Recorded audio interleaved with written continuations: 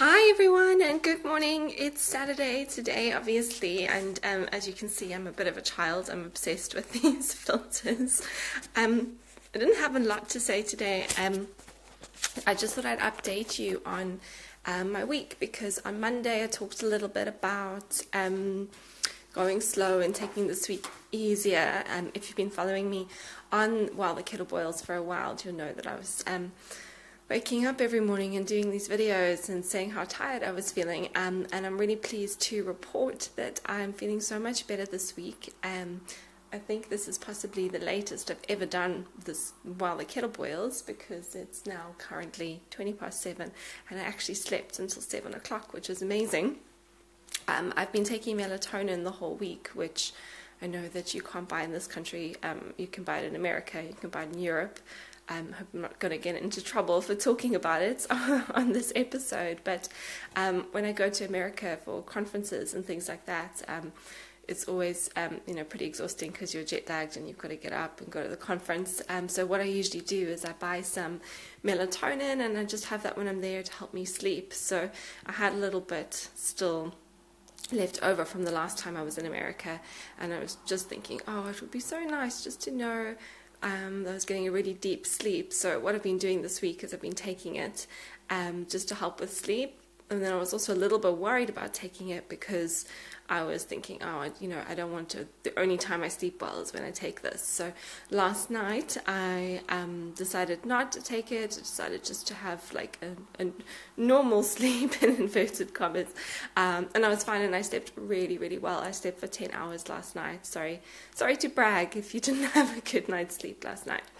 Um, but anyway, this week has been my week of going slow, and um, the whole purpose of it was just really to slow things down and um, take a little bit more time for me so that I could, um, you know, just sort of get my energy back because at the end of last week, I was, yeah, I wasn't in a good place and I was um, really sort of wondering if this was how I was going to feel for the rest of my life. And how I was going to survive, quite literally. And so, yeah, something needed to happen. And so, what happened this week was I um, stripped back my training. So, I just did um, basically yoga practice at home, or I'd go for a little run, but like 30 minutes. Not pushing myself particularly hard, just like jogging along. Um, very fortunately, um, my diary calendar with clients wasn't that busy this week, so I just had a bit more time, and it was really no, it was really interesting to notice how much more creative I became because I had that space. So usually, you know, when I've got lots of appointments, it's like get the things that need to do done, and then you're just you know appointment, appointment, appointment, appointment, eat, make some food you know, do things at home, sleep. And um, because I kind of had a little bit more flexibility this week, a little bit more space to go, what would I like to get done in this time? You know, what what what is next? What is the next step? What's coming? Um, I had that creative space just to sort of come up with some new ideas, which is very exciting. But the problem is sometimes. Um, I always think of myself as a very structured person. So I always think that um, I'm very like I love a spreadsheet, I love a database, I love data, I love science. Um, I'm very much like organized, data driven person, and I don't always think of myself as a creative person. But actually, this week, what I've sort of realized is that maybe I am creative. I'm just so busy being busy that I lose a little bit of my creativity because the problem I guess when you're a business owner, if you're too creative, is um, you just jump from one thing to the next before fully seeing things through which is what clients sometimes do with their diets as well. they jump from one diet to the next before fully um, problem solving. So, um, yeah, that was just a really interesting observation this week. I went back to the gym yesterday and I did my first workout for the week. And again, I did some stuff that I normally do but um, I kept it pretty chilled. I kept my workout to 45 minutes. Um, half of that time was doing some strenuous stuff, yes, and the other half of the time was more just like body weight, activation, supplementary work, that kind of thing. So all in all, that was my week of slow. I was also tracking my macros. Good morning, Sarah. And what did Sarah say? The both of us well rested then. Yay. Looking forward to hearing about your new ideas. Bing. Love it, Sarah. So um, Sarah was on at the beginning of the week and she um, ran her very first marathon um, on Sunday. So she's also needed a slow week this week. I believe she's at a spa this weekend. So I hope the spa was amazing, Sarah, and you got the rest that you needed. Um, so just where I dropped off, I was just saying that the other thing I was doing was also tracking macros. Now, macro tracking is um, you know something I use with my clients um, all the time.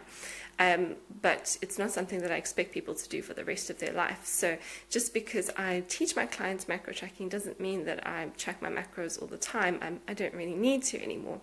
But um, one of the things that I was concerned about was that I know a lot of people have problems with overeating and they eat too much or they eat too many carbohydrates. Um, I can be a little bit diff- different, so I don't really um, overeat, um, but I can sometimes undereat or sometimes not necessarily always get the right balance of foods. So, what that can often look like for me is undereating on carbohydrates, which I know for some people is a bit crazy.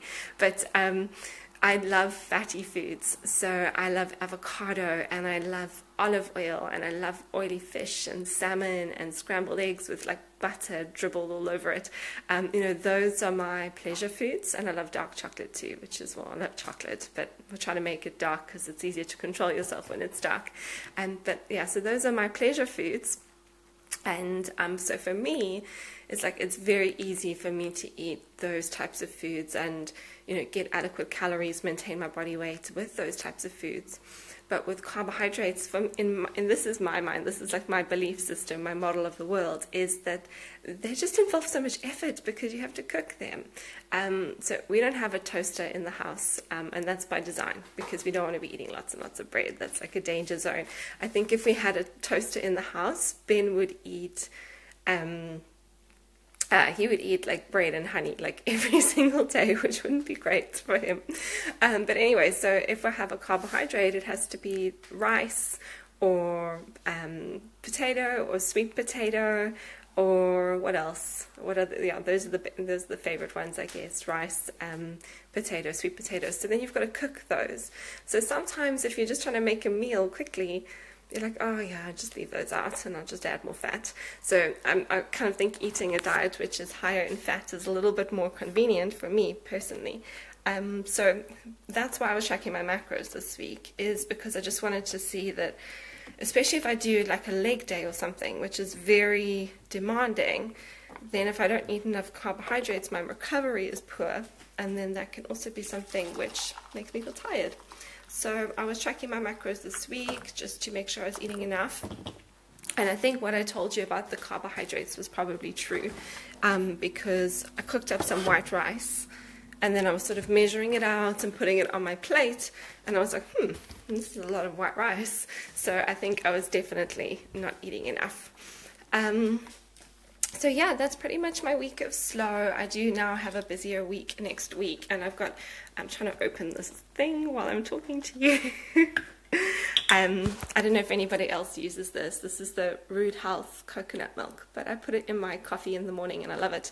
Um, so anyway, um, what was I saying? So yeah, I've got a busier week next week, and then I've got a few pretty busy weekends. I'm doing a um, life coaching and business coaching course next weekend. And then the weekend after that, I'm going to London. I'm doing three days with Dr. Joe Dispenza from um, Breaking the Habit of Being You and You Are the Placebo, if any of you read those books. So that's going to be very, very busy because when you're in courses on the weekend, you don't get any rest. So those are the challenges that are facing me ahead. Um, the final thing I wanted to say today was actually something about success. But I might say that for Monday because success and motivation stuff is um, that's like Monday stuff, isn't it? So, um, good morning, everyone. I hope you have an amazing weekend. Um, I hope you're feeling good going into the weekend, just like I am. And um, thank you for, so much for all your comments and support this week. And um, yeah, hit me up with some ideas for while the kettle boils next week. See you soon.